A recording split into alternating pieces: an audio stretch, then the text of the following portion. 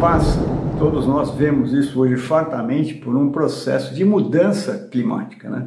É, não é propriamente uma crise, como muita gente gosta de dizer, porque em tese a crise tem um começo e um fim conhecidos, né? ao passo que aqui essa mudança de paradigma, é, primeiro, é, é, ela vem acontecendo de longa data, né? não é uma coisa que começou agora, e mas mais especialmente é, o momento de um eventual retorno é, para a situação anterior, né, em que o planeta estava menos aquecido do que se encontra hoje, deve tomar aí, muito provavelmente, segundo muitos cientistas, e entre eles o Carlos Nobre, que é um climatologista reconhecido mundialmente, né? Mas enfim, a gente vai talvez tomar uh, centenas de anos para voltar à situação anterior à década de 1950, e isso se a gente fizer tudo certinho, né? o que né, não é exatamente o cenário mais provável, visto que, por exemplo, né? por exemplo, a maior economia do mundo uh, corre o risco de ter novamente uh, uma administração que no fundamental é negacionista, né? E que muito pelo contrário quer produzir mais petróleo, mais gás, mais xisto, né?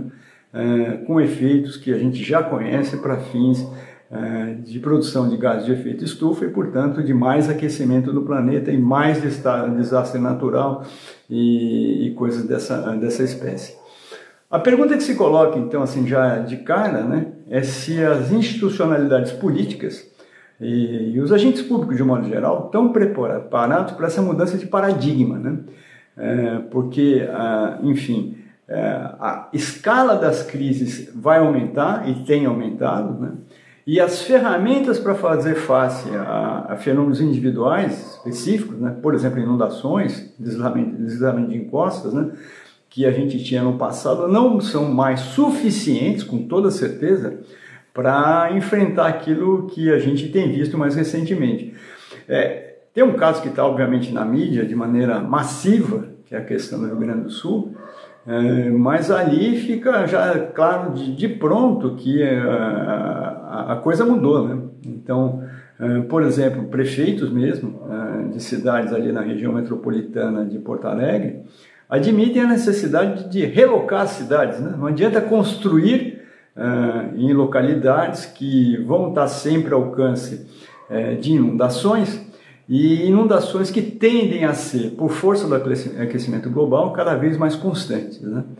Então, assim, acho que é importante isso, quer dizer, é, a questão, né? Será que o, o nosso povo no, na política é, tem, tem dado suficiente atenção a essa questão, né? A esses problemas, a complexidade que eles implicam? É, tenho aqui as minhas dúvidas, porque se a gente olhar para o Congresso Nacional, como ele vem atuando, né, é, existe uma forte presença da bancada ruralista e, portanto, uma demanda por expansão agrícola né, e aumento de culturas ou de monoculturas que a gente sabe que tem é, é, por efeito, entre muitas coisas, enfim, a diminuição de áreas florestais, perda de biodiversidade, enfim, coisas dessa espécie. Né? É, agora, para dar um exemplo da dificuldade que se apresenta nesse momento e que exige um determinado tipo de preparo que não tem nada a ver com aquilo que a gente tinha até mais recentemente, acho que a gente pode pensar, por exemplo, na questão do deslocamento de populações por força de eventos climáticos extremos. Né? É, só para dar aqui uma indicação, segundo o portal DW, né, é, em 2023 o Brasil teve 745 mil deslocamentos em função de desastres ditos naturais. Né? É importante dizer que não são 743 mil pessoas, são 743 mil movimentos territoriais que estão associados aí a eventos climáticos extremos. É, o ano 2024 deve bater esse recorde, porque só a situação que se passa no Rio Grande do Sul provocou aparentemente alguma coisa como 600 mil deslocamentos, né? E a gente tem muito tempo por vir aí até o fim do ano, então a gente deve passar aí por uma situação mais aguda nessa questão. É, é muito que bem, a gente está preparado institucionalmente para essa condição, né? porque veja, é, o que acontece? Né? É, os deslocados não têm direitos específicos reconhecidos uh, por força de lei. Né? Eles são assistidos, obviamente, como a gente tem visto aí, o governo federal, o governo do Rio Grande do Sul, os municípios, né? assistindo suas populações, mas usando as ferramentas já existentes, né? coisas do tipo Minha Casa Minha Vida, enfim, é, rebate sobre a dívida da, do Estado do Rio Grande do Sul para com a União e coisas dessa espécie. Mas é, é, são, são, são movimentos, são ferramentas que são de, de, é, discretas, né? são pontuais. E, e, portanto, não podem ser pensados como um programa sistemático que se encarrega desse tipo de problema. Né? E, e o fato é que nós vamos precisar disso, porque uh, os deslocamentos vão ocorrer, do ponto de vista das cidades, uh, seguramente será necessidade, será necessário relocar algumas delas, ou pelo, pelo menos áreas de muitas cidades, né? cidades que estão no litoral, cidades que estão lá em, em calhas, ou muito próximas de calhas de rio, isso tudo vai ter que obter um ser objeto de um esforço, né, que tem que ser um esforço sistemático, é, porque, como disse para vocês, a mudança veio para ficar, né? E, portanto, as condições é, de habitabilidade das populações no Brasil é, vão mudar de maneira bastante é, expressiva, isso sem qualquer dúvida. É, por que, que, é importante dar isso algum tipo de formato? Né?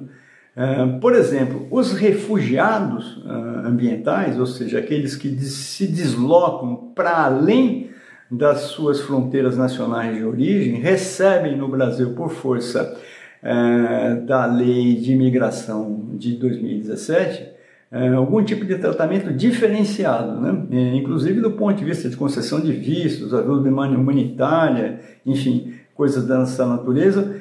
É, insisto, né? É, iniciativas que estão asseguradas por lei. Os deslocados internos, em sentido próprio, né, que é uma grande contingente de pessoas, depende, de certa forma, de uma certa sensibilização uh, dos diferentes agentes públicos para que possam, aí, de alguma maneira, mitigar a condição em que vem a se encontrar por força desses eventos de clima muito relevantes. É, então, assim, o Brasil precisa ter um programa para assistir essas populações, coisa que ainda não existe em sentido próprio, ainda que haja projeto de lei é, que tenta tematizar é, essa questão. Além disso, né, é, é preciso é, produzir planejamento de médio e longo prazo para fazer face à mudança de clima. Né? É, não basta, como fez o governo recentemente, criar uma espécie de um ministério extraordinário para dar conta de uma questão pontual uh, ainda que muito grave, que é do Rio Grande do Sul, mas de criar uma área de governo que se encarregue eh, em sentido próprio, né, e de, até de forma matricial, vamos dizer assim, implicando várias áreas, né, mas que se encarregue desse problema, que é um problema de longa duração, né, e que, portanto, não pode ser tomado, não pode ser tratado por medidas eh, pontuais. É, eu, particularmente, não sou tão otimista, acho que, que essas demandas vão, vão demorar um tempo para integrar uh, os projetos políticos uh, no Congresso Nacional, uh, de agentes políticos no sentido estrito, do governo do Estado brasileiro, né? É, e, portanto, do meu ponto de vista, é, é fundamental uma mobilização popular, porque se hoje isso que a gente está vendo, esse desastre né, ocorre no Rio Grande do Sul, em passado mais recente, atingiu é, áreas serranas do Rio de Janeiro, é, Espírito Santo, Bahia, é, ou seja, há uma recorrência e uma abrangência muito grandes, né? e que, que de alguma forma, passada a comoção inicial do, da, da, da catástrofe, né? É, não há continuidade porque, enfim, não há um programa estruturado, não há uma ação de governo estruturado para o fim específico da mudança ambiental. É, e, e, portanto, tão logo diminua a pressão da população para obter algum tipo de compensação ou mitigação por força desses fenômenos, isso tudo começa a esfriar, vamos dizer assim, né? E aí já no, em complemento das coberturas jornalísticas que se tem feito com relação ao Rio Grande do Sul, fica evidente que, por exemplo, os que sofreram perdas de residência, que tiveram se, de se movimentar no Rio de Janeiro, em passado razoavelmente recente, não conseguiram ainda hoje se reposicionar, vamos dizer assim, do ponto de vista territorial e sequer recompor suas residências, enfim, que dirá atividades econômicas e coisas dessa espécie.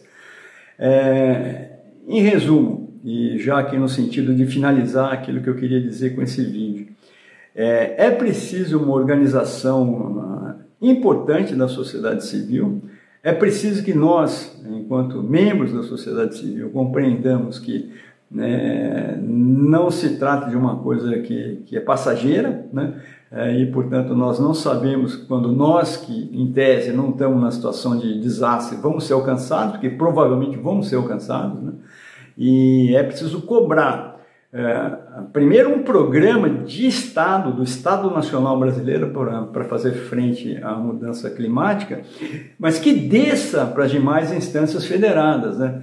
municípios, uh, estados, precisam ter plano de contingência, precisam ter planos estruturados para fazer face a coisas que já, se pode, já se pode antecipar, não é verdade?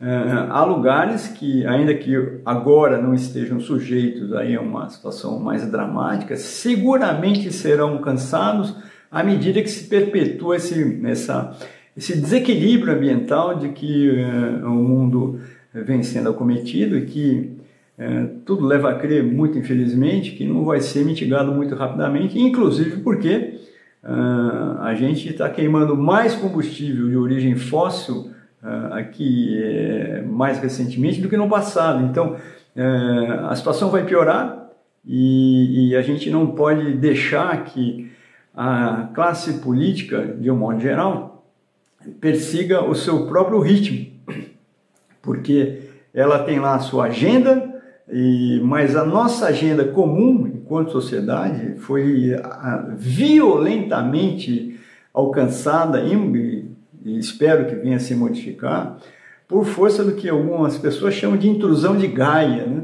ou seja, a natureza chegou a um termo, né? É, ela reage de certa forma para buscar algum tipo de homeostase, né?